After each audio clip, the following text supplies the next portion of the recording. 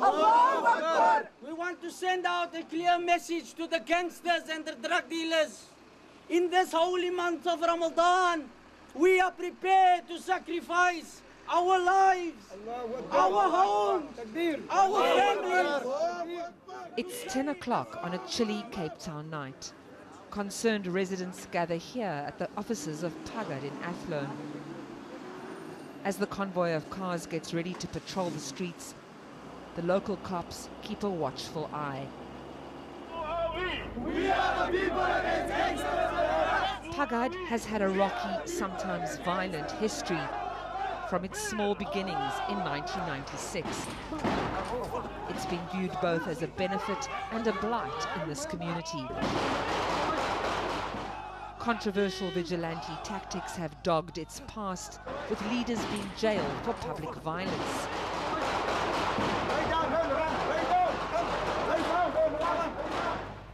Pagad was implicated in incidents of urban terrorism, nine bomb explosions during the year 2000 alone.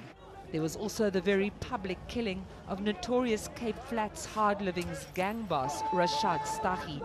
His twin brother and fellow gang leader Rashid Staggie swore vengeance against Pagad at his funeral, and now Rashid is on the verge of being released from prison.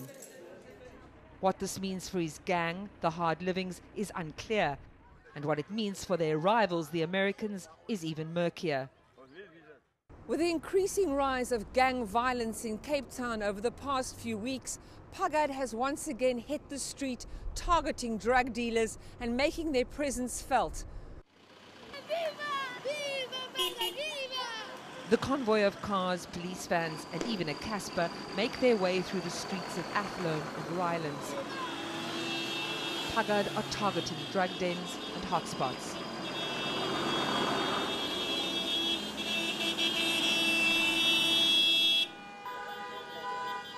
The fast for Ramadan has been broken in this predominantly Muslim neighborhood.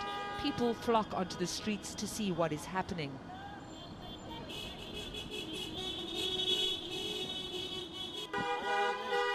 At suspected drug houses, the procession slows down. The hooting of car horns intensifies. Loud firecrackers are released. It's a warning, says Pagad.